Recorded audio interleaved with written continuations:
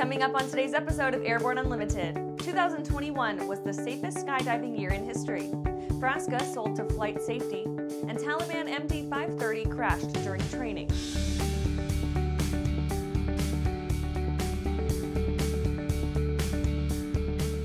Hi, I'm your host, Holland Lee. Welcome to Airborne Unlimited. Let's get into today's stories. 2021 was the safest skydiving year in history. The United States Parachute Association announced that their overall safety rate that has been improving year over year has again beat the previous year with 10 civilian skydiving deaths throughout 2021. The downswing began in 2018 when deaths dropped to 13, bringing the fatality index to 0.39 out of every 100,000 jumps. The year after saw a rise to 15 until 2020's drop in overall skydiving activity brought the index to mirror its 2018 record. 2020 saw 11 fatalities, an all time low for the era. Now, 2021's record proves that safety efforts, training programs, and diver proficiency programs are yielding dividends across the country. The association has made it a goal for 2022, hoping they can bring overall fatalities into the single digit range. Quote, Although every life lost is tragic, leaving behind friends and family mourning, there is comfort in knowing that each year skydiving is getting significantly safer.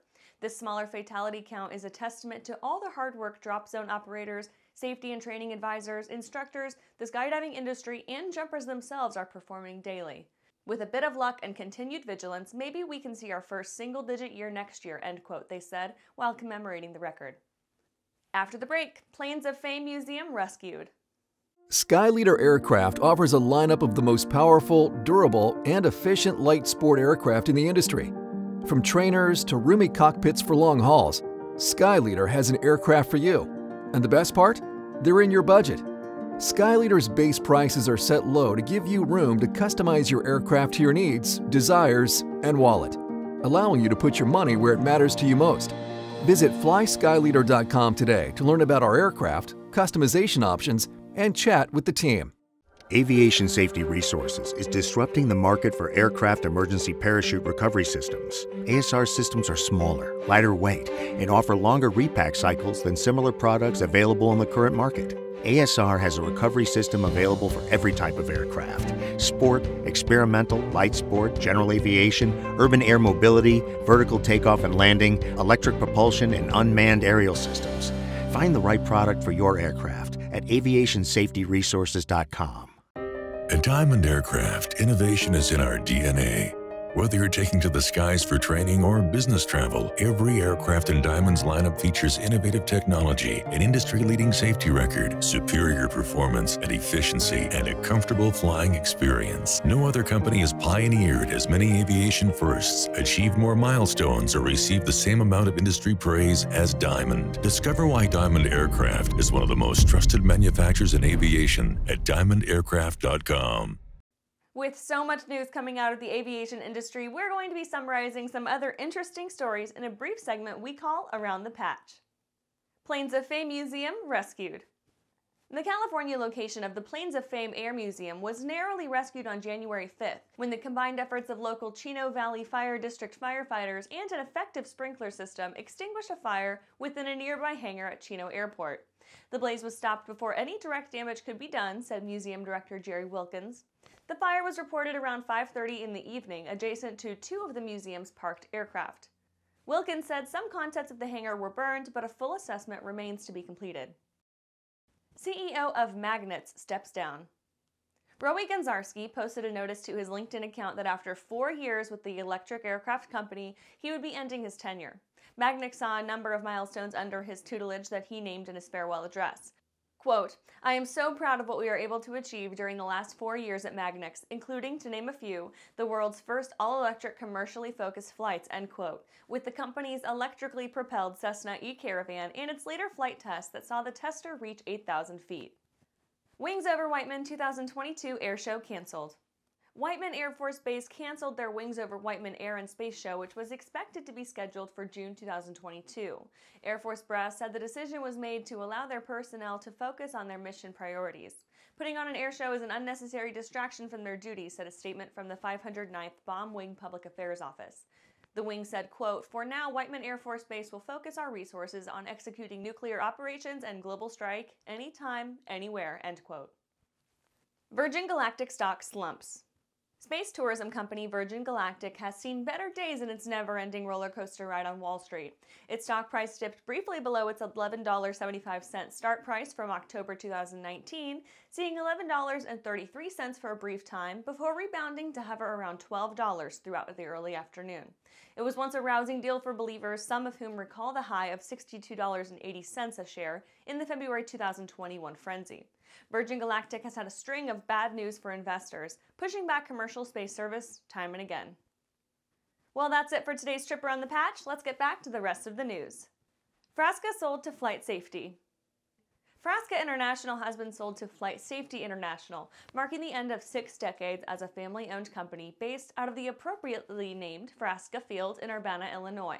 Frasca President John Frasca and other employees will reportedly remain in place and the family will continue to retain ownership of the airport and its grounds. Flight Safety has built up its brand as an internationally recognized training provider for a number of aircraft types, and the addition of the Frasca brand builds on years of relationship between the two companies that draw all the way back to their founders. Flight Safety has yet to announce any changes to their new acquisition, with Communications Director Stacy Perkins saying the company's expertise in Level D simulators is a great fit for all involved.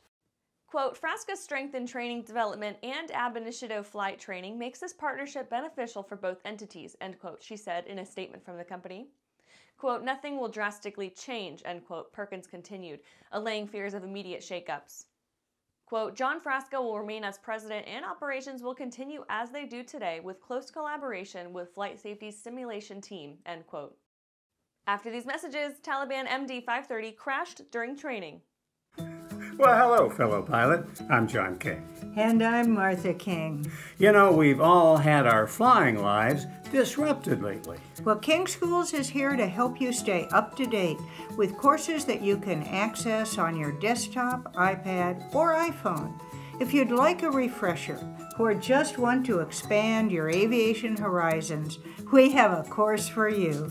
So head over to kingschools.com slant rusty today for details.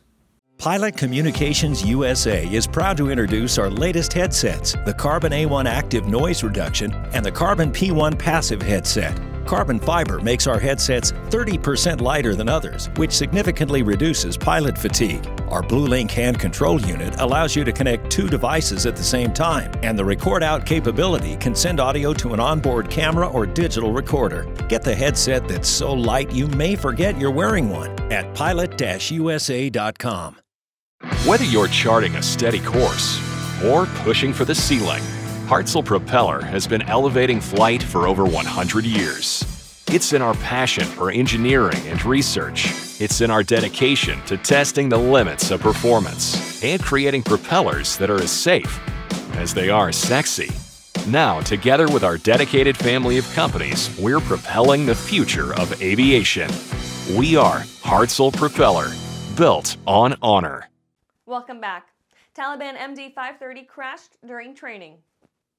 The Taliban confirmed a video making the rounds earlier this week that featured one of their inherited MD 530 helicopters coming in low for a landing, only to abruptly lift and veer off horizontally before impacting the ground. Like many goings on in the post US withdrawal Afghanistan, details are few and far between, with rumors abounding unopposed until half hearted explanations are officially sown. Taliban spokesman for the Ministry of Defense Inayatullah Khwarazmi blamed technical issues with the aircraft, saying the two injured pilots are expected to recover. He said, quote, "The helicopter crashed and is destroyed. Our pilots are injured, but we don't have fatalities. One of the pilots is in stable condition, another pilot is in critical condition." End quote.